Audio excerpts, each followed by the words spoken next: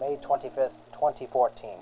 Service members celebrated Memorial Day to honor those who paid the ultimate sacrifice during World War I. U.S. Air Force Brigadier General Christopher Bence spoke about the sacrifice made by American and British service members, both past and present.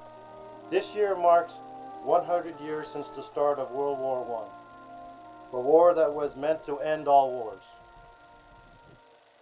No one knew how the course of events would evolve. The struggle, the loss of life, families forever changed. History records how the bravery of our two countries was united in that common struggle.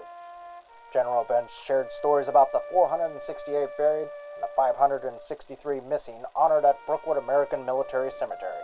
Also among us today are 41 members of the unknown soldiers. They answered the call, they paid the ultimate sacrifice. These soldiers are known only to God. A sacrifice that is never forgotten.